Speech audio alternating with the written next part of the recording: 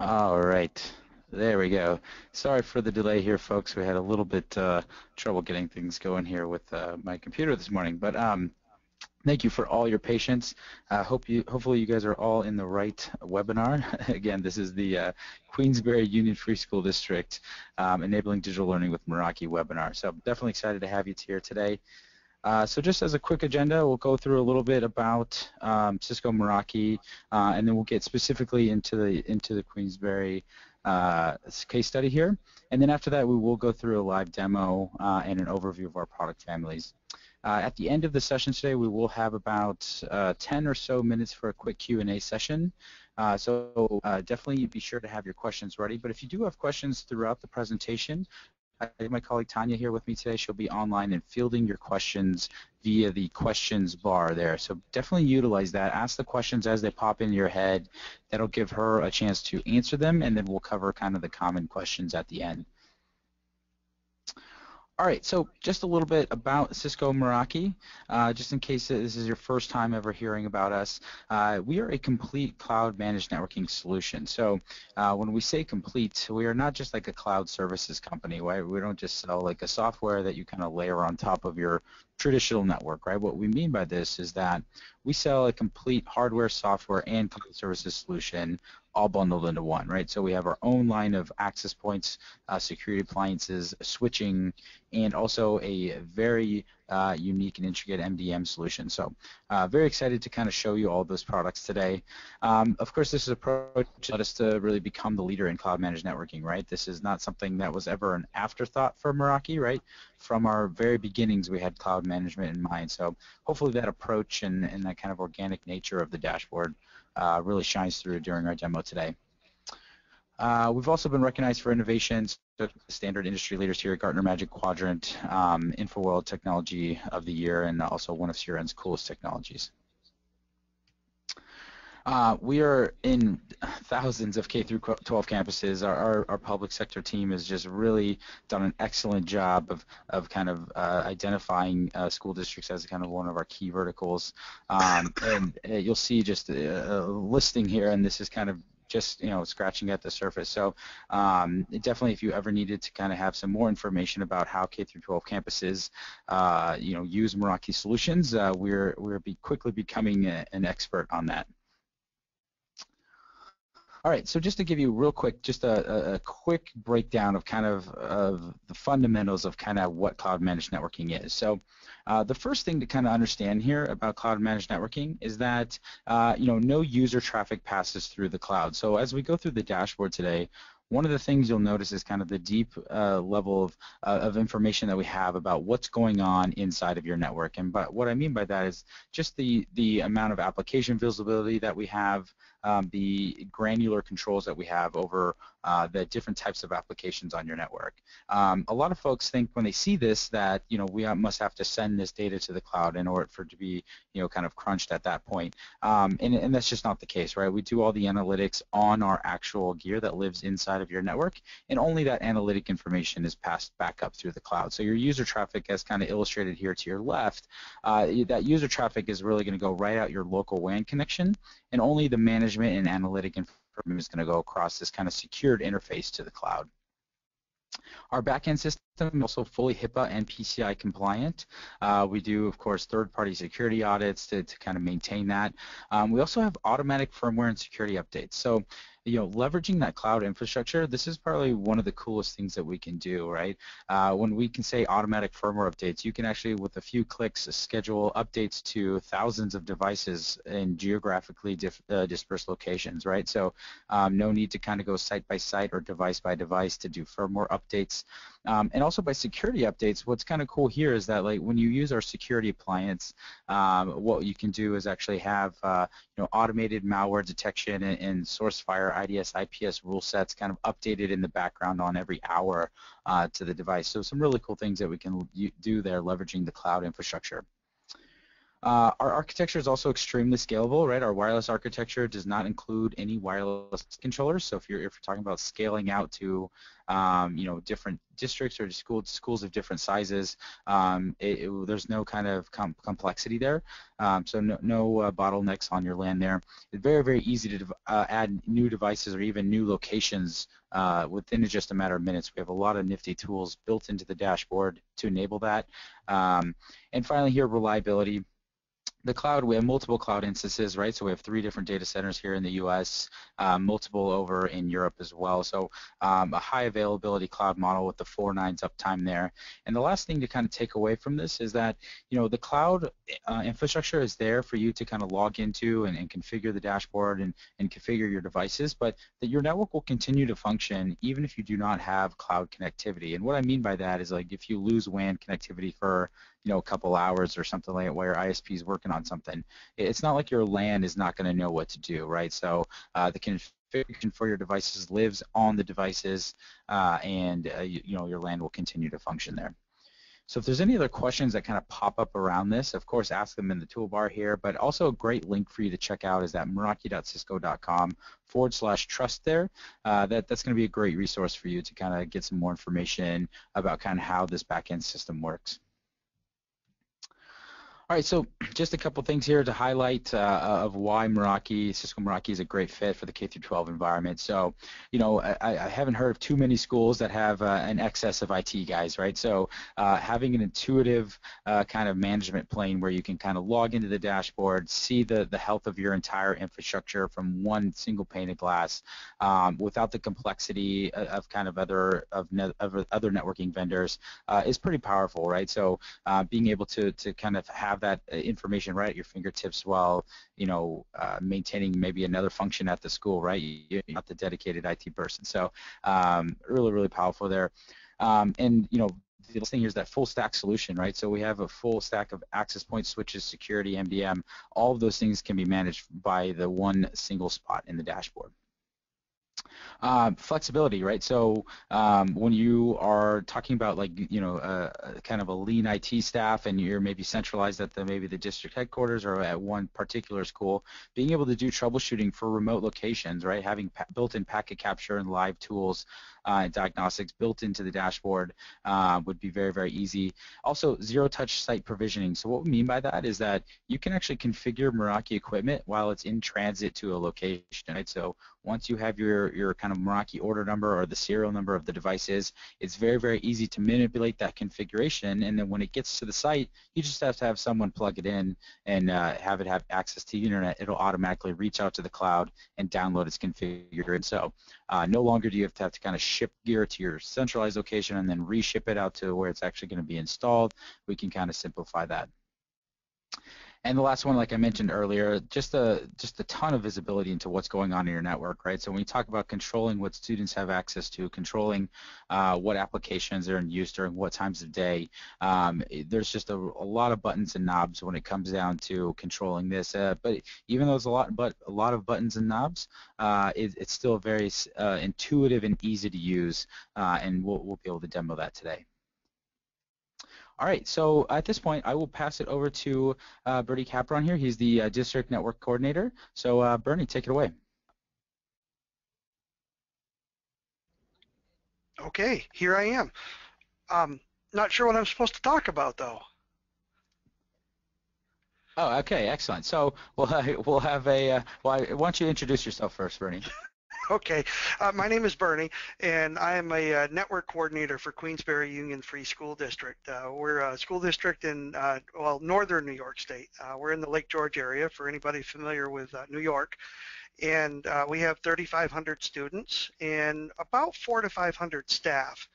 And so it was uh, we're we're a little over three years uh, into a Meraki system. We we sat down three years ago. We were replacing uh, an aging HP uh, system that was that was working for us, but gosh, at that time it was um, it was wireless G, um, and each access point had to be managed individually. I had to log into each one.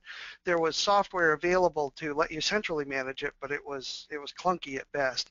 So we started looking around for a different solution, and I was very unfamiliar with with cloud-based solutions. They were fairly new, but there was a couple of companies that were doing it. And um, to make a long story short, we we settled on Meraki, and uh, we've been very very pleased with it since. Uh, Ryan, some good points with um, how easy it is to access things and, and just look. Um, it's very tweakable, uh, which is something that I appreciate, and it's just uh, really awesome to look into it and be able to see different things. I, I have a, a, few stories to tell about things that I've done. Even um, recently this morning, I was able to locate a stolen iPhone. Um, the uh, the kid never turned off the wireless, so I was able to to locate where it was um, and uh, and actually the, the kid fessed up to it. So that's just one story, but I, I mean there's there's lots of different instances, um, basically day in and day out that, that we use uh, the dashboard for to, to manage our network. I've I've got about 137 access points, and I think we have 48 switches. Um, so that's that's where we're at, and and we manage uh, the entire network. There's there's three of us um, actually two and a half. There's two full-time uh, desktop technicians, and then I'm kind of a hybrid. I'm, I'm also a desktop technician, but I'm also the, the network guy.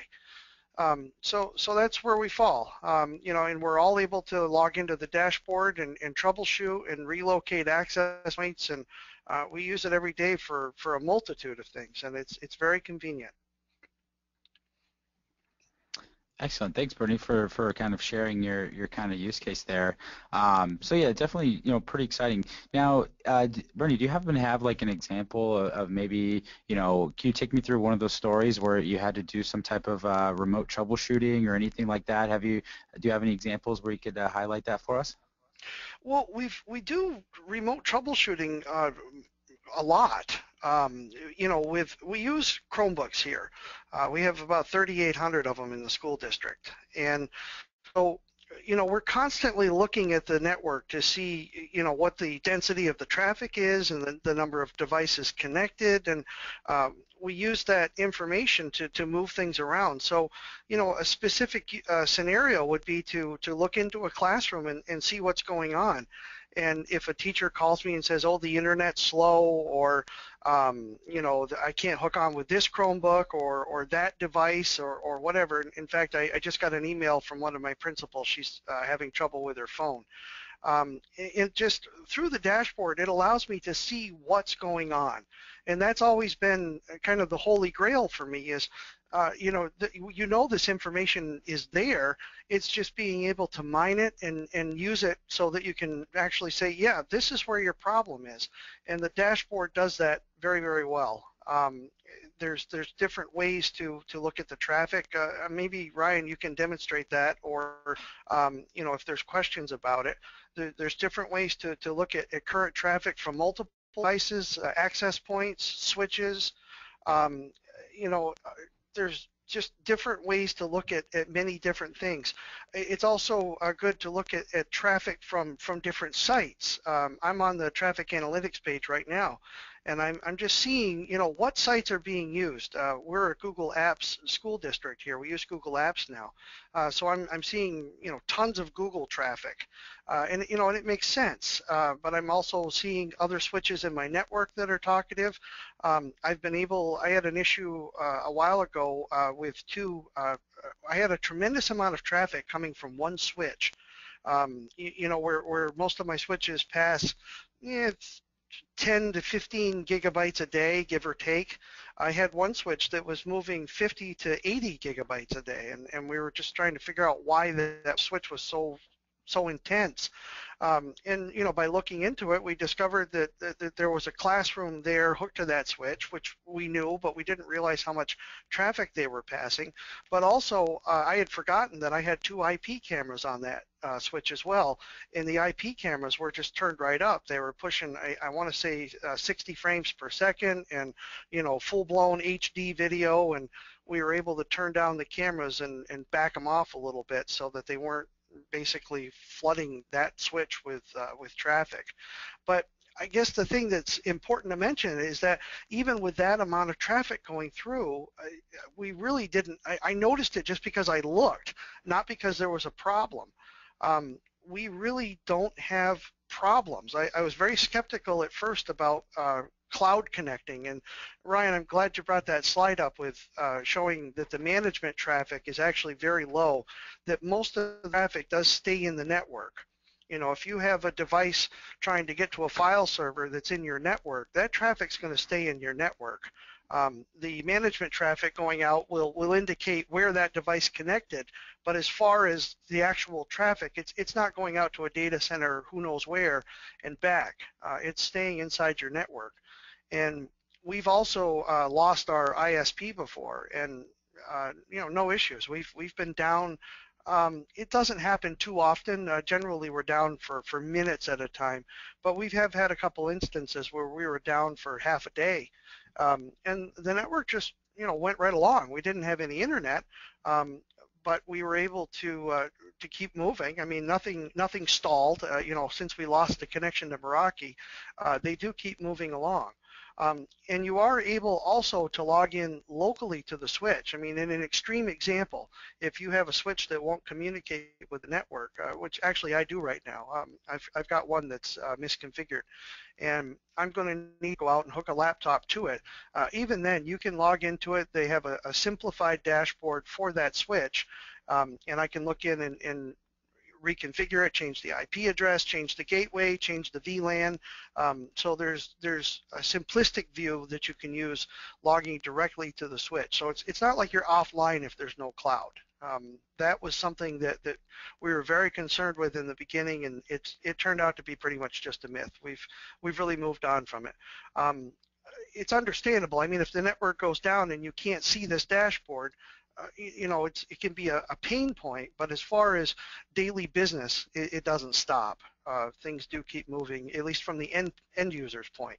Um, so, you know, that's what I'm most concerned about. You know, can, can my classroom teachers still continue to do their work? And, and yes, they can. Um, so we see, uh, we've also had a tremendous uptick um, since we've installed this system. Uh, we have a public wireless that's available in the afternoon. Um, and we just have a tremendous number of kids that have uh, phones and, and we have uh, an open network. Uh, so we've gone from generally one to 200 clients a day um, to right now on my traffic analytics board, I, I'm showing 4,100 unique clients today. Uh, so that's that's quite a bit. That's that's actually more people than we have in the school district. So we're we're we're looking at multiple devices here. You know, a teacher may use a computer and a phone and a tablet. So uh, and you know it we're, we just move right along. We've we've gone from 100 to 200 devices to over 4,000, and still just moving right along. We, we haven't seen any uh, degradation in traffic flow or, or anything. We, we've been talking about getting uh, 10 gigabyte uh, for our switches. Uh, we have um, one gigabit uh, for our switches now. So every uh, every uh, MDF is um, one gigabit back to the main core switch. So yeah, I, I mean that's we we just we've been using it for three years. It works very well for us. Uh, I, hope I don't want to babble on, so I, I, I hope that I'm I'm I'm maybe answering some questions or you know getting a few head nods in there, and, and people say, yeah, this this is looking good.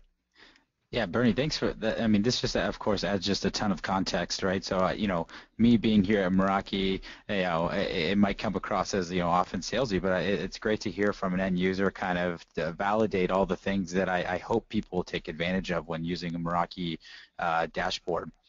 Um, one thing you did mention there that I'd love to have you, um, you know, maybe elaborate a little bit further on was, uh, you know, you mentioned there's a bunch of different ways to get access to the dashboard, right? And, and uh, do, have you ever actually used the, the Meraki mobile app to kind of troubleshoot it, where maybe like your your LAN's down, so now you're using a cellular connection to kind of do some, um, you know, troubleshooting there? Yes, um, I use the mobile app occasionally. I don't use it uh, all the time, but I generally because I, I don't like the small screen on my phone. Sure. Um, but uh, but it is available, and, and I actually had a, an emergency. Oh, it's about six months ago. Um, we were all out to lunch, and I got a phone call, and I had to turn on a wireless network for a presenter, and I, I did it from my phone while we were sitting there waiting for lunch. Uh, I wasn't anywhere near the school district, so Uh, yeah, it, you can use it uh, mobile. Uh, you can use it uh, since it's a website. Uh, I'm I'm have a tendency to be on multiple types of computers. I, I use a, um, a, Windows computer here in my office, but I also have a Mac. I, I have tablet. I have Linux computers, and since it's a website and it's available as long as you have an internet connection, um, you know, it works. I, have been on vacation in Florida and done things. Uh, I had a, another urgent situation. Uh, I was at a presentation uh, in Albany, New York. Uh, this was just a few months ago. And once again, I, I jumped on a Chromebook. Uh, we were actually getting ready to present, and I'm furiously working in the corner, working on a problem on the network here at school to, to get things resolved and get, get things back working again. So yeah, I, I, guess that's something you just take for granted now. I, I can't imagine life without it. Uh, being able to access it from anywhere. I, I do work from home uh, in the evening. Uh, if I've uh, if I've got things to change around, or I just want to look in and you know see what's going on, um, it, it works very very well for that. I most of my usage is just visual, just to say, mm-hmm. oh yeah, what's what's going on today? You know, how's the high school humming along? What's going on at the middle school? I just like to keep tabs because sure. I, I, find problems quite often just by casually looking over things and, and seeing what's going on, and I, I can spot a problem fairly quick. Um, I noticed the other day um, our sixth grade uh, area uh, in the middle school was uh, jammed up pretty good, and I ended up putting two more access points there to, um, you know, to make things work better. So it's just things that that you you know you you can always hope to identify a problem before it occurs. And with this dashboard, you're able to do that. I, I don't want to sound like a Meraki commercial, and I, I think I, I might actually be, but I, I do talk very positive about this product. Um, you know, like I say, we've been using it for, we're a little over three years in now, um, and, you know, I'll, I'll, never go back, so to speak. Uh, it's, it's, it's really been life has changed. It's it's been a, real game changer for the way we do business. There's no way that we could have scaled to this size without this type of a system. Now, you know, maybe you can do the same thing on a controller network versus a cloud network, but I really like the fact that you can just log in from any type of device anywhere that you have an internet connection. Um, and that's just been a very, a huge bonus for me. Excellent, thanks, Bernie. Um, I do have a question for you from uh, from our attendees today. Uh, one one uh, uh person would like to know: Do you use Meraki in conjunction with the Google Classroom? Absolutely, yes. Yeah, we are. Uh, we're Google Apps. Uh, I like to say we're all Google all the time. Um, we um, we use Google Apps here. We use Google Classroom. Uh, we are we're real heavy. The teachers are heavy with uh, YouTube videos. Um, so this this network really gets pounded during the day. Um, during the school day, it's it really it, it gets hit hard. Um, after after o'clock you can hear crickets here. But boy i'll tell you during the during the day uh, you know we're not a 24 hour network so to speak. Um, my internet connection is 350 megabits. Um, and we don't top out during the day but we're, we're bouncing along between eh, 150 to 250 uh, during the day for our internet connection. So yes, we, we do use this in conjunction with Google Classroom um, and lots of other apps that are part of our world. Um, you know, we use Khan Academy. We use a product called Kahoot. We have a reading server. Um, uh, lots of stuff going on here. Uh, lots of lots of internet type stuff. Uh, we're, we're really heavily into internet usage here. Excellent. And uh, last one here, Bernie, and then we'll get on to the uh, live demo. So maybe just tell me a little bit about, uh, you know, you, you know, you guys of course started with, uh, you know, wireless and switching, and maybe tell me a little bit about uh, the kind of the looking at security appliance and and kind of what you're considering there. Well, when we bought our security appliance uh, a few years ago, this was before we looked at Meraki. So I, I don't have a Meraki security appliance uh, nor do I have a Meraki web filter.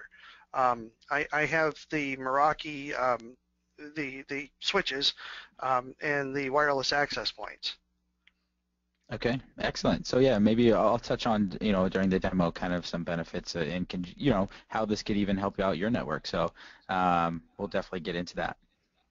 Yeah, we, we looked at the Meraki product, uh, but it was but it was after the fact. Um, Absolutely. The, they they came out with the uh, with the security appliance after we had already bought it. Um, but I, I, have looked at it, and you know it did look good, uh, but I, I'm not an expert on it because I don't use it. Sure, absolutely, great. Well, hey, Bernie, th thanks again, and um, you know we'll be sure uh, at the end we'll, there might be some more questions for you. So thanks for uh, thanks for the uh, kind of context here, and really we really appreciate having you on. Okay. All right, excellent. So hang tight here, and uh, so yeah, let's get into a live demo. So um, I'm gonna kind of get out of uh, of PowerPoint here, and I'm going to go to, I'm just going to walk you guys through the kind of dashboard login process. So if I go to dashboard.meraki.com here, and I can go ahead and log in uh, with my credentials. Hopefully I typed my password correctly. Perfect. All right, so uh, what I just wanted to show you here real quick is, um, you know, this is a this is a view that as an admin uh, we can see here, and I just wanted to kind of highlight a couple things here. So I actually started with uh, Meraki a little over three years ago, so maybe around the time that uh, Bernie was uh, getting ready to deploy his first Meraki network, and um, at the time, uh, this number of active networks here, this was about uh, 80,000 networks. So, uh, and you, as you can see here, we're rapidly approaching the 500,000 active uh, kind of uh, milestone here. So this, this, is pretty exciting for us. And it, by the way, this is not like uh, you know individual devices. This is like groups of devices into a network, right? So um, some very, very uh, exciting growth for us here at Meraki, and, and really the map here kind of reflects a lot of that. Um, so we can see we're, we're pretty much you know everywhere in the U.S. and Europe, and then we're expanding into our Latin America market, um, expanding into our APJ market, right? So um, we're really growing uh, not only at this point, uh, you know, here in the U.S., uh, but also worldwide. So some very exciting stuff for us here.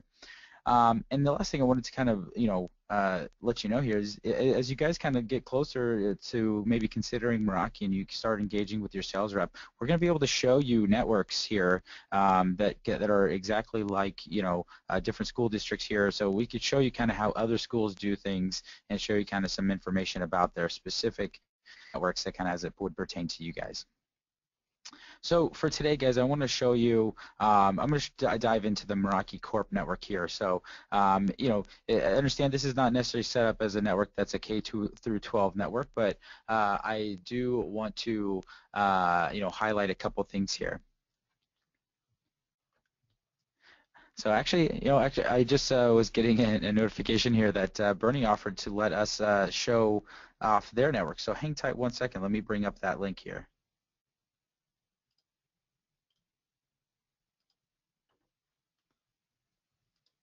You link? You linked it to me in chat.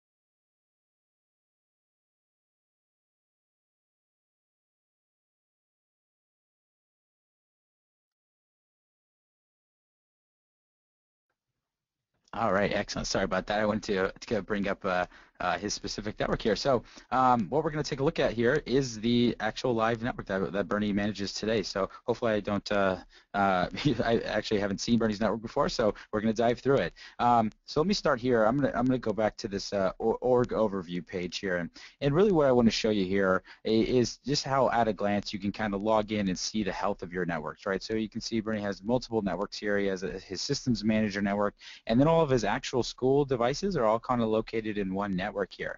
Um, so when you first log into the dashboard, you're going to get to get this high-level overview, kind of the health of your entire infrastructure. So um, let's go ahead and look into uh, uh, the QF, QUFSD network here. And the first page we'll land on here is this clients page. So, uh, you know, this is a, a lot of information and, and some very basic things to kind of understand about this page is that we didn't have to, uh, you know, upload a list of MAC addresses or anything like that into this page. All the kind of client visibility that we're getting here, uh, this is all something that happens dynamically as new clients connect to the network. Uh, and there's a lot of like kind of filtering that we can do here, right? If we just wanted to say, hey, I want to see all uh, of my different you know clients connected to a particular SSID, or maybe I just want to see all my wireless traffic, right, as opposed to wired traffic. And then we can also go expand this out to maybe the last week, uh, last month, etc. Right? So uh, you can see kind of the you know peak you know usage here as, as school hours uh, you know are, are, in session here, and you can kind of see over time uh, how the traffic flow changes. Um, other things that you can do on this page is you search. So if you want to search for Windows devices, uh, you can search for operating systems here. If you want to search for a type of device like an iPad, um, you can do that. If you know you're looking for, you know, a particular student, uh, you know, and, and you know that hey, this is their, you know, their maybe let's just pick a name since I saw it on the list there. Let's choose that we're looking for, you know, some student named Peter, um, and we search for Peter. We can. It also searches the host name information, right? So uh, as you're kind of like trying to dive in and understand what's going on on the network. Uh, you have some nifty search tools here. The other thing that's quite useful is sorting by usage, right? So if you want to say, hey, what's my what's my top client that's being used uh, on the network, we can sort here by usage and get that information as well. Now you might have noticed this uh, kind of Wheel of Fortune looking thing off to the side here. This is our application breakdown. So if we hovered over, you know, these different uh, categories here, we'd be able to see kind of different categories of traffic. And if we expanded this out, we can actually get a kind of more granular view of this. So let's sort again by usage here, and we can see, you know, like Bernie mentioned, they you know use a lot of Google services. So we see a lot of, of course, Google and Google Video traffic here.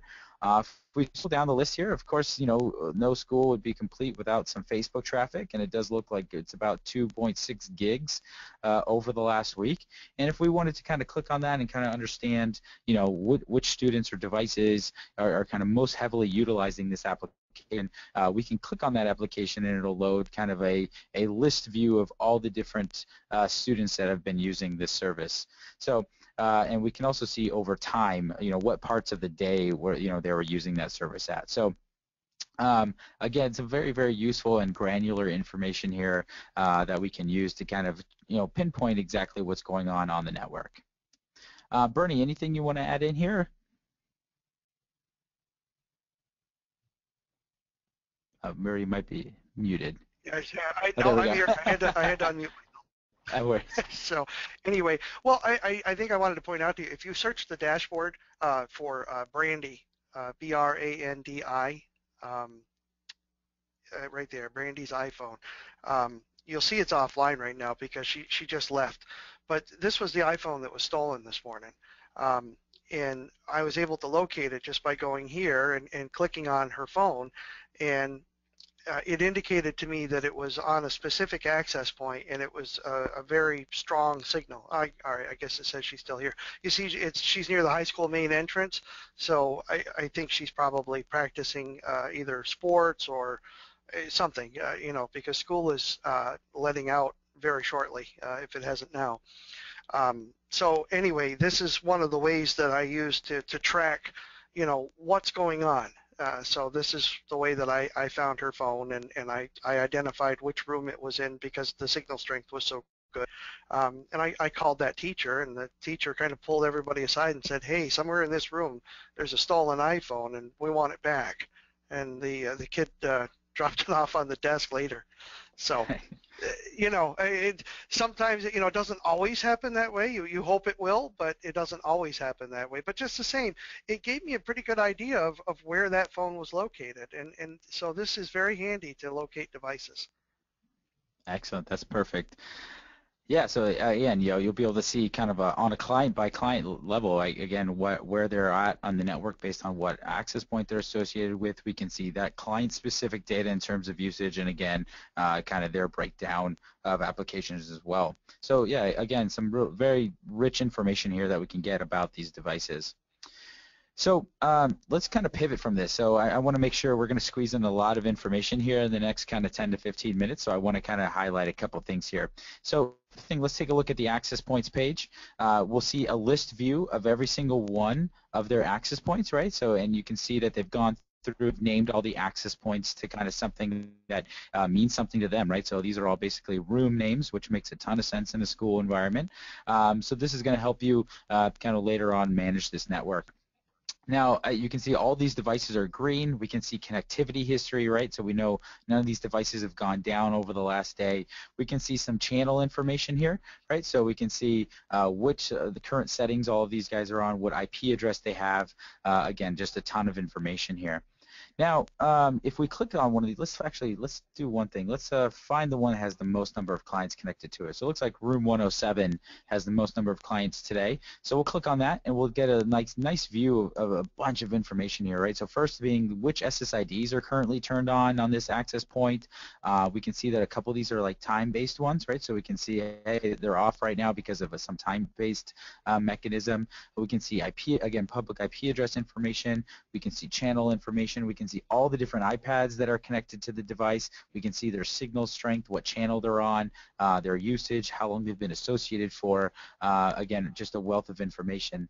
And then getting into like you know different troubleshooting options, right? So looking at tools, right? What if we want to say, hey, you know, maybe Bernie here gets a phone call that hey, none of my iPads are getting out to the internet. The first thing you can do is come in here and say, hey, you know, can the access point itself reach the internet, right? And we can actually send a ping to like Google.com or whatever else you'd like to you know send here, and you can see that, yeah, we got loss rate of 0%. So you know that that's a great troubleshooting mechanism.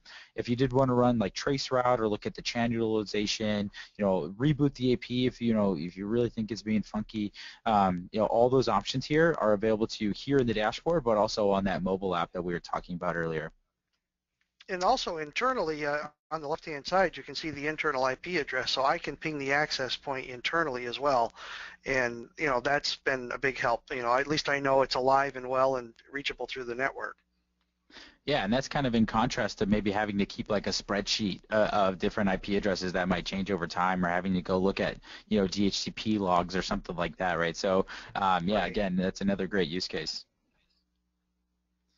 All right, so um, with the access points, I, I want to kind of you know pivot from that. Let's talk about, a little bit about the switches, and this is kind of a great segue. So you can see here that uh, this access point is actually plugged into a switch here called the IS2-1. So I'm, I'm, assuming that's probably some switch closet, right?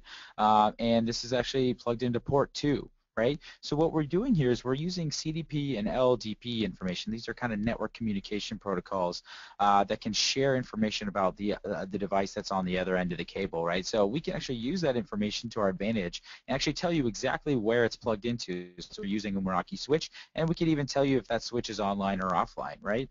So let me kind of take a step back through this. I want to like walk you through kind of a, a, an example here. So if we were going to go look at, you know, maybe this specific client, and we were to say, okay, you know, what, I want to walk through everything from when you know this particular client touches the network all the way out until they reach the uh, internet, right? And that's where we've built this topology page. So you'll notice here again back from a client page, we can click on topology from here, and what this is going to do is it's going to bring us into our brand new topology page. And when I say brand new, I really mean it's about six months old, but this is a very useful feature. So check this out. What what it's done is it's filled out the MAC address of that access point as a filter, and now what it's doing is it's tracing from the access point through the switches all the way out to the gateway. Okay, so now I know exactly what path stands between my student and the internet, everywhere I would need to troubleshoot if there was a potential issue. So I understand like that's a little grayed out, might be a little hard to see there. I'll delete the filter here just so you can see the full live network map. This is a feature that is built out using Meraki switching, and you, I didn't have to upload a Visio diagram, or I didn't have to like draw lines here and connect everything up. This is all dynamically generated every single time uh, you load the page. So uh, we can see kind of uh, the health of all the devices, exactly where they're plugged in on the network, uh, you know, the health of all the switches behind it. Um, you know, so uh, Bernie, have you ever had to kind of make any Visio diagrams after this feature came out? Well, the creepy part is that I did make a Visio diagram and I spent several hours designing it. And then this came out a few months later and it looks almost identical to my Visio diagram. So, uh, you know, it was it was kind of like, oh my God, well, they, look what they did. Um, but yeah, it's it's a really great representation of, of our network and how it works. Uh, we have um, core switches in, in each of the building, and then they go out to um, uh, you know some smaller closets within the building. Uh, and we do, you know, we try to name everything logically so that we can figure out like ES Core 1 is in the elementary school and it's the, the first core switch. So uh, that's just a, a personal naming scheme that, that we've used for years here and it works well for us. Excellent. Yeah. So, um, you know, obviously for schools when you know it's a smaller team kind of managing this infrastructure, right? It's pretty useful to know exactly, you know, where things are plugged in on the network, especially if you need to troubleshoot something remotely. Um, so um, I'm really happy that uh, you did actually try to draw a Visio diagram. In a, in a past life of mine, uh, I was actually the person responsible for maintaining Visio diagrams, and uh, you know I pretty much hated every iteration of it. So um, this is some pretty powerful stuff. And, and the last thing I'll kind of point out here is this is not just a network map. You'll notice that these are also green, right? And they're not arbitrarily green. They're not like green for Meraki green or something like that. That actually means they're online. You know, for example, this is an access point that's offline. You know, uh, we can see exactly. You'll see, you know, a, red one in there too. Yeah, and uh, yeah, you see a red one in here as well. Yeah, down the very there, bottom, there right? So, um, yeah, so again, just a, a ton of good information here. All right, so um, all right, so last thing that I do want to touch on here, and, I, and, and for this, uh, I will have to kind of uh, jump back over to um, actually, sorry, one last thing that I want to talk about on the switching is the switch ports page. So I, I would be totally remiss if I didn't mention this. Um, the switch ports page is a, a, great kind of breakdown of every single switch port uh, on the network, right? So what the reason that's kind of cool to expand this view out is that you'll notice if you have a large switch infrastructure, you know, such as this one, Bernie here is managing actually a little over 2,200 ports, right? So you know, we talked about you know trying to provision these switch ports and making sure that everyone has access to the services that they want to have access to. This is a great kind of be able to bulk configure that tool set. So if just as an example here, say you know tomorrow Bernie you know decides he needs to configure port 10 across like every single one of his switches. So he has 48 switches. 48 port 10s, right? Uh, and now we can see I've searched for port 10. That's let's actually bringing it up across each one of our switches. And now we can actually, you know, if we need to make some bulk changes to this, I can expand this out and say, hey, you know what? I want to configure this all at once. I'm going to click edit here. I'm going to update 48 ports across 48 different switches, and I can modify all that at once. So think about how you'd have to do this with another vendor, right? You'd have to log in to switch by switch, navigate to the interface, change whatever you wanted to change, save the changes. Now maybe you have to configuration manage those changes. Right now you got to take that configuration, upload it into some third-party tool. However you do this, just to make sure that you're not kind of overriding someone else's changes. You know, this is you know, it could be very, very complex. And now, by the way, you know, repeat that 47 more times, right? So this type of uh, this type of functionality is, is, very very powerful. Hey Ryan, can I jump in for a second? Are, are yeah, you hearing absolutely. me? Okay, good. I, I know that I had some sound issues and apparently that's fixed. Um, that has been huge for me. Um, the system that I had before this was, I mean, clunky was was an understatement for adjusting VLANs, which I do a lot. Um, I'll put an access point on, and and I'll need to tag it to different VLANs, and that feature you just showed, I use it more uh, because my network's already configured. I use it more on an individual basis. Um, but I I can take a access point uh, in the uh, in the middle school, for example, and I can tag it to the high school VLAN, so it'll act like it's in the high school, and that has value to me because I'll, I'll switch things around or I'll test to see, you know, how would this thing behave in the high school without leaving my desk here in the middle school. So uh, tagging and untagging VLANs, um, and and being, uh, we also use IP phones here. And uh, uh, making uh, you may want to just highlight that um, you you actually have a, a voice VLAN uh, feature that's very easy. You just slip in the voice VLAN for the phone, and boom, it's online. Yeah, absolutely. Uh, let me let me find one here that's not a not an uplink here. Um, yeah, so as soon as you and I, I promise you, uh, Bernie, I won't save these changes. Uh, as soon as you change yeah, something thanks. to, uh, as soon as you especially change on to, that switch. yeah, as soon as you change something to an access port, right, you'll notice that we can do VLAN and voice VLAN advertisements from uh, the same switch port, right? So you can kind of uh, do a, a you know a one single cable out to a VoIP phone uh, and uh, you know have it uh, the voice traffic automatically end up on the voice VLAN. And, and it works good. Um, we have um, I, am going to guess 50 IP phones. We're, we're building that out. Um, and the old way of doing it was, I mean, it was horrible. It was bad.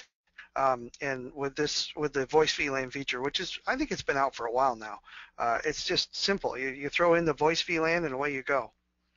Excellent.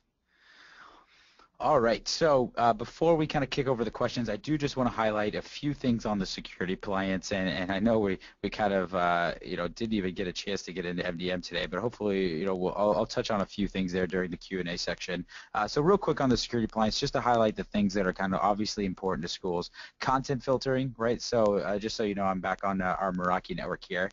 Uh, so content filtering, you know, the, co the cool thing about our security appliance is we've taken a lot of functionality and kind of collapsed it into one box right? So this this single box is now going to be your your content filter, your IDS IPS, your malware detection, right? So you know being able to secure your entire network from the firewall perspective, uh, but while also kind of having some cool features here for for K through 12 as well. So of course category filtering here, um, they're integrated with a company called BrightCloud. They do all of the categorization for us. So as new URLs are starting to come out uh, and, and fall into those categories, that company is working you know night and day to continually categorize those. So you pretty much set the categories once and you can forget about it.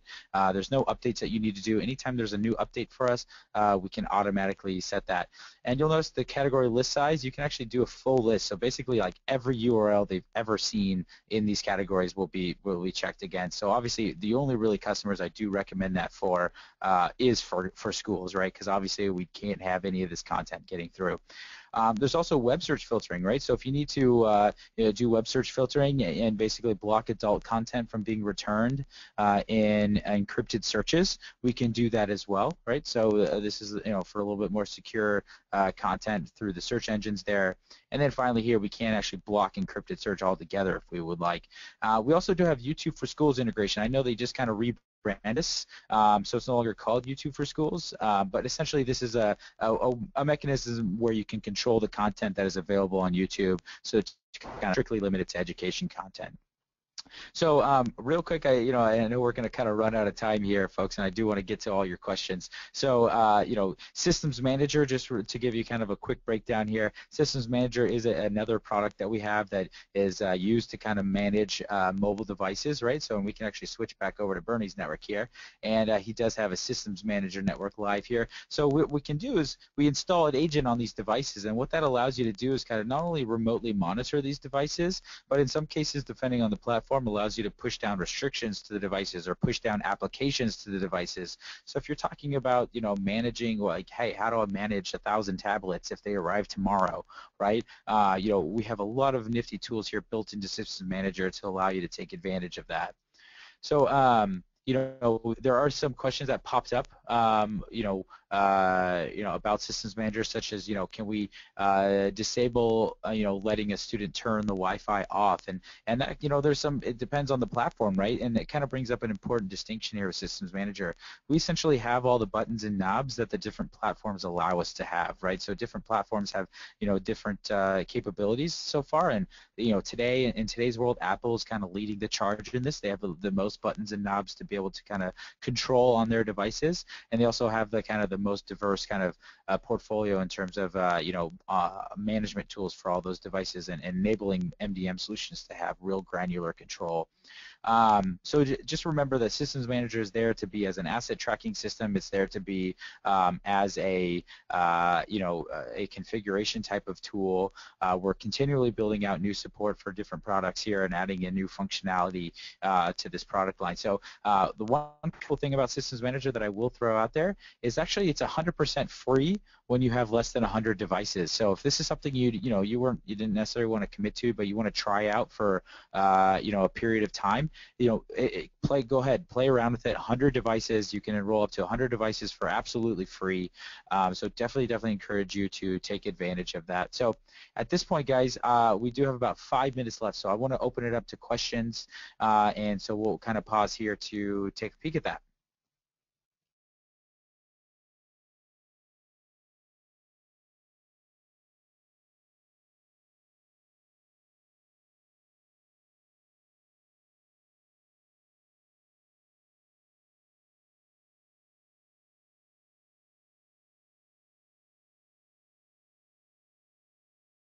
Right, so one of the questions was, can you can you do filtering, uh, you know, at the AP level? Um, that's a great question. So yeah, absolutely. On our access points, we do have, uh, you know, basically a firewall and traffic shaping page where we can kind of do layer seven filtering, right? So if we want to say for a particular SSID, let's go ahead and block some, you know, P2P traffic, or we want to block, you know, uh, you know, you guys are feeling you know you want to crush all the students and block Facebook, um, you can do that at, at an access point level. So you don't necessarily need a Meraki firewall to do that. Um, also traffic shaping, right? If you want to throttle that traffic as, as opposed to blocking it, you know, coming in here and, and basically creating a rule to throttle um, that type of traffic. So say we want to throttle um, you know, Netflix. Uh, we can come in here, create a rule for Netflix, and say, hey, you know what, this is going to be throttled down to, you know, one meg per second, right? So all that can be done on the access point level. Uh, let's see here. Let's another. Let's pick another one here.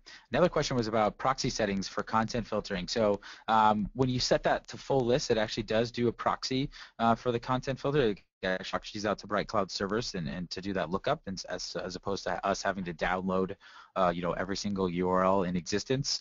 Uh, so there's that type of thing. I hope hopefully that answers your question, Anthony. If not, uh, yeah, let me know.